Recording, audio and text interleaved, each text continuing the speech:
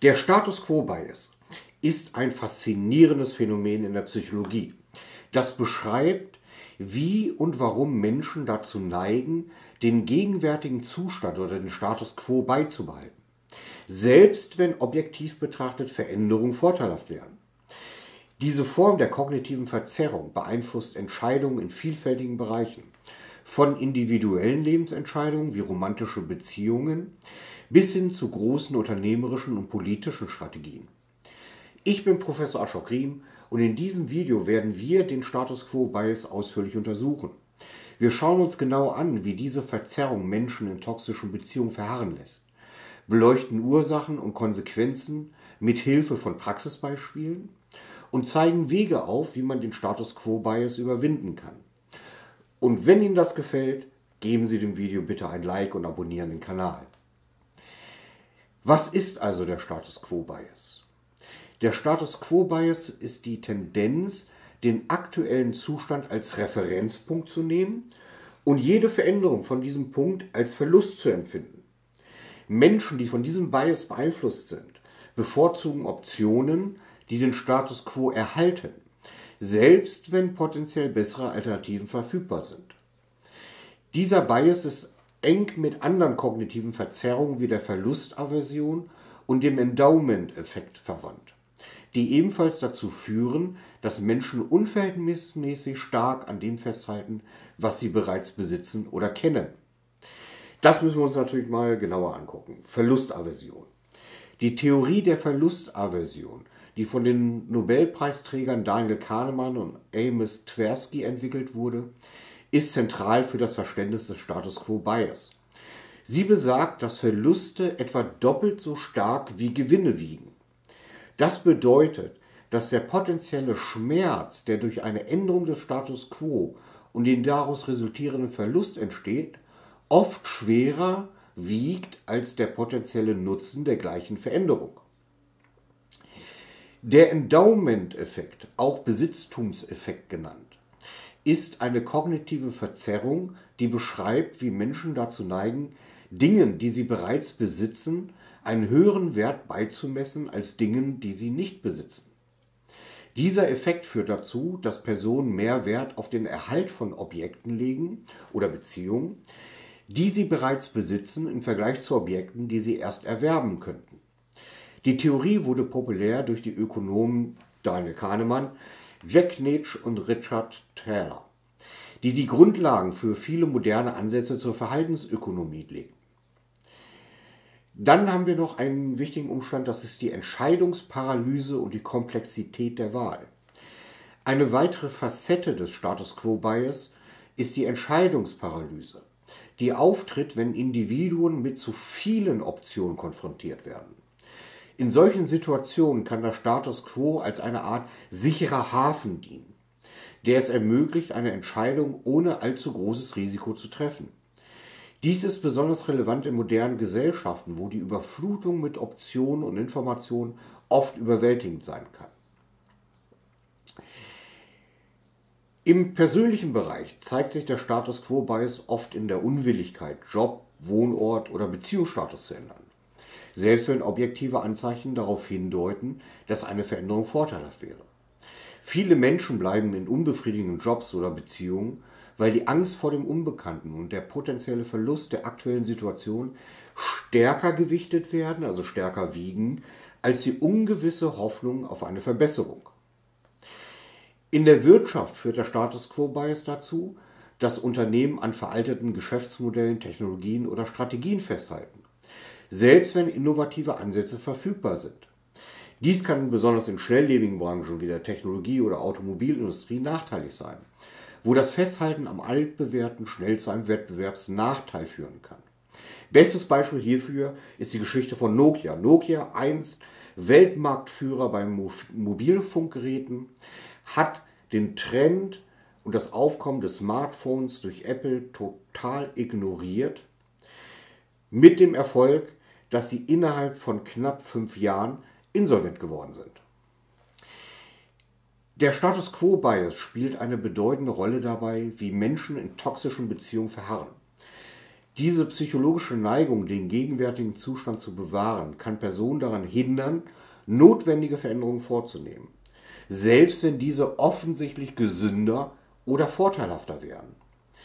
Das Verbleiben in einer toxischen Beziehung trotz erkennbarer Nachteile illustriert eindrucksvoll, wie der Status quo Bias individuelles Verhalten tiefgreifend beeinflussen kann. Machen wir noch etwas zum Verständnis des Status quo Bias in toxischen Beziehungen. Ein zentrales Element des Status quo Bias ist die Verlustaversion, die Tendenz, potenzielle Verluste stärker zu gewichten als potenzielle Gewinne. In einer toxischen Beziehung könnte dies bedeuten, dass die Angst vor dem Verlust der Beziehung, unabhängig von deren Qualität, größer ist als das erwartete Wohlbefinden durch deren Beendigung. Diese Angst wird oft verstärkt durch Unsicherheit über die Zukunft. Wie wird das Leben ohne den Partner aussehen? Werde ich allein sein und einsam? Kann ich finanziell oder emotionell alleine zurechtkommen? Diese Fragen können lähmend wirken und dazu führen, dass der aktuelle Zustand als das geringere Übel erscheint. Es gibt eine Gewöhnung an den Status quo. Menschen gewöhnen sich an ihre Umstände, selbst wenn diese schädlich sind. Im Kontext einer toxischen Beziehung kann dies dazu führen, dass sich das Opfer an die Dynamik der Beziehung so gewöhnt, dass es Schwierigkeiten hat, sich ein anderes Leben vorzustellen. Diese Gewöhnung kann zu einer Art psychologischer Trägheit führen, wo der Status quo als Norm akzeptiert wird, auch wenn er schädlich ist. Es gibt das Thema kognitive Dissonanz und Selbstrechtfertigung. Kognitive Dissonanz entsteht, wenn das eigene Verhalten nicht mit den persönlichen Überzeugungen oder dem Selbstbild übereinstimmt. In toxischen Beziehungen kann dies dazu führen, dass das Opfer sein Verbleiben im Status quo rechtfertigt, indem es positive Aspekte der Beziehung überbewertet oder die negativen Aspekte herunterspielt. Dieser Mechanismus hilft dem Opfer, sich besser zu fühlen, über die Entscheidung zu bleiben. Wir haben, und das wird oft vernachlässigt, eine Rolle der sozialen und kulturellen Faktoren. Soziale und kulturelle Faktoren können den Status quo Bias verstärken. Beispielsweise können gesellschaftliche Erwartungen an eine erfolgreiche Partnerschaft oder die Stigmatisierung von Trennung das Opfer davon abhalten, eine toxische Beziehung zu verlassen. Hinzu kommt der Druck durch soziale Netzwerke oder Familie, die möglicherweise von den negativen Aspekten der Beziehung nichts wissen oder diese nicht verstehen. Ich habe Ihnen typische Beispiele mitgebracht, um diese Verzerrung noch greifbarer zu machen. Und hier kommen sie wieder, meine Akteure Tom und Sarah. Ähm, erstes Beispiel, finanzielle Abhängigkeit und Angst vor Veränderung. Situation, Tom hat in den letzten Jahren den Großteil des Einkommens der Familie verdient, während Sarah Teilzeit gearbeitet hat. Ihre finanzielle Abhängigkeit von Tom hat sie oft davon abgehalten, ernsthaft über eine Trennung nachzudenken, trotz wiederholter emotionaler Misshandlung. Status quo Bias ist, Sarah befürchtet, dass sie finanziell nicht in der Lage sein wird, sich selbst zu versorgen, wenn sie die Beziehung beendet. Diese Angst hält sie davon ab, Veränderungen vorzunehmen, obwohl sie sich der toxischen Dynamik bewusst ist. Der Gedanke an den aktuellen finanziellen Status quo scheint sicherer als das unbekannte Territorium einer Unabhängigkeit. Beispiel 2. Sozialer Druck und das Bild einer perfekten Beziehung. Folgende Situation. Tom und Sarah gelten in ihren Familien und ihrem Freundeskreis als das ideale Paar. Ihre Freunde sehen nur die guten Zeiten, die sie miteinander teilen und sind sich der toxischen Aspekte ihrer Beziehung nicht bewusst. Sarah fühlt sich unter Druck gesetzt, dieses Bild aufrechtzuerhalten. Status quo Bias. Trotz der negativen Aspekte ihrer Beziehung mit Tom zögert Sarah Veränderungen vorzunehmen weil sie die sozialen Konsequenzen einer Trennung fürchtet. Sie bevorzugt den Status quo, um das Bild einer glücklichen Beziehung zu wahren, anstatt sich den realen Herausforderungen zu stellen und möglicherweise von ihrem sozialen Netzwerk verurteilt zu werden. Dann gibt es äh, eine Gewöhnung an negative Verhaltensmuster. Über die Jahre hat sich ein Muster in Toms und Sarahs Streitigkeiten entwickelt. Heftige Auseinandersetzungen gefolgt von Versöhnungen, bei denen Tom Entschuldigungen und kurzfristige Verhaltensänderungen anbietet. Sarah hat sich an diesen Zyklus gewöhnt und nimmt ihn als Teil ihrer Beziehungsdynamik hin. Sarah akzeptiert die toxischen Muster als Normalität ihrer Beziehung. Jeder Zyklus von Streit und Versöhnung verstärkt ihre Entscheidung, bei Tom zu bleiben. Da sie sich an den vorübergehenden Phasen der Besserung festhält und die langfristigen negativen Auswirkungen ignoriert. Sie fürchtet, dass eine Trennung zu einem noch schlechteren Zustand führen könnte und hält daher am bekannten Leid fest. Der Teufel, den ich kenne. Und da fällt mir zum Thema Verhaltensmuster gerade noch ein Beispiel ein. Ähm, das ist nicht unerheblich. Und zwar die Rationalisierung schlechter Verhaltensweise. Ähm, Tom hat in der Vergangenheit in Auseinandersetzungen oft überreagiert und war verbal aggressiv. Nach solchen Vorfällen entschuldigt er sich jedoch immer wieder und verspricht, dass es nicht wieder vorkommen wird. Sarah möchte glauben, dass sich Tom ändern wird und klammert sich an die guten Zeiten, die sie gelegentlich noch haben. Diese selektive Erinnerung hilft ihr, die toxischen Aspekte der Beziehung zu minimieren und sich selbst davon zu überzeugen, dass es nicht so schlimm ist. Was hat man dann als Ergebnis? Als Ergebnis steht der Glaube an mögliche positive Veränderungen und das Festhalten an vergangenen guten Momenten halten Sarah davon ab, eine klare Entscheidung zu treffen. Der Status quo-Bias verstärkt ihre Tendenz, den gegenwärtigen Zustand zu akzeptieren, trotz wiederholter negativer Erfahrungen. Nächstes Beispiel, Angst vor Einsamkeit und Unbekannt. Sarah hat im Laufe ihrer Beziehung mit Tom viele ihrer eigenen Freundschaften und Hobbys vernachlässigt. Sie fühlt sich zunehmend isoliert und abhängig von Tom für soziale Interaktion und emotionale Unterstützung. Die Angst vor Einsamkeit und dem Unbekannten hält Sarah in der Beziehung fest. Obwohl sie die toxische Natur ihrer Beziehung erkennt, fürchtet sie, dass das Leben außerhalb der Beziehung noch isolierender und herausfordernder sein könnte.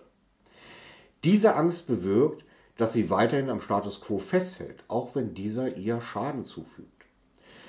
Diese Beispiele zeigen, wie der Status quo-Bias Toms und Sarahs Entscheidung beeinflusst und dazu beiträgt, dass Sarah in einer ungesunden Beziehungssituation verharrt. Indem sie ihre Entscheidungen und die zugrunde liegenden Ängste reflektiert, könnte Sarah beginnen, Schritte in Richtung einer positiven Veränderung zu unternehmen. Und damit sind wir schon bei Strategien zum Überwinden dieses Status quo-Bias. Das erste ist Bewusstsein und Bildung. Der erste Schritt zur Überwindung des Status Quo Bias ist das Bewusstsein darüber, wie dieser Bias äh, Entscheidungen beeinflusst. Bildungsinitiativen und therapeutische Interventionen können helfen, Opfer über die Mechanismen toxischer Beziehungen und die psychologischen Barrieren, die sie davon abhalten zu gehen, aufzuklären. Dann ganz wichtig, unterstützende Netzwerke. Der Aufbau und die Anspruchnahme von unterstützenden Netzwerken können entscheidend sein. Freunde, Familie und Fachleute können emotionale Unterstützung bieten und dabei helfen, die Angst vor dem Unbekannten zu mindern. Dazu gehört natürlich auch, dass man die Entscheidung treffen muss, sich seinen Freunden und seiner Familie gegenüber zu öffnen, um diese sozialen Drucksituationen zu beseitigen. Diese Netzwerke können dann auch praktische Hilfe bieten. Im Zweifelsfall in Form von, von Unterkunft und finanzieller Unterstützung, um den Übergang aus der Beziehung zu erleichtern. Schrittweise Veränderung. Manchmal kann der Gedanke an eine vollständige Trennung überwältigend sein. Kleine, schrittweise Veränderungen können es dem Opfer erleichtern, sich von der toxischen Beziehung zu lösen. Dies kann den Aufbau individueller Unabhängigkeit oder das Erkunden neuer sozialer Kontakte einschließen. Es kann auch hilfreich sein, Strategien zu entwickeln, die Veränderung fördern. Dazu gehört das Setzen von klaren, erreichbaren Zielen, die Implementierung von Feedback-Schleifen und die Schaffung von Anreizen für Veränderung, also kleine Selbstbelohnungseinheiten dafür, dass man etwas geschafft hat. Der Status Quo-Bias ist eine mächtige Kraft die Person in toxischen Beziehungen halten kann. Das Verständnis dieses Biases und der Einsatz gezielter Strategien zur Förderung von Veränderungen können jedoch dazu beitragen, dass Betroffene sich aus schädlichen Beziehungsmustern befreien und den Weg zu einem gesünderen, selbstbestimmteren Leben einschlagen. Letztendlich ist die Fähigkeit, den Status quo in Frage zu stellen und proaktiv Veränderungen zu suchen, entscheidend für persönliches Wachstum und Selbstheilung.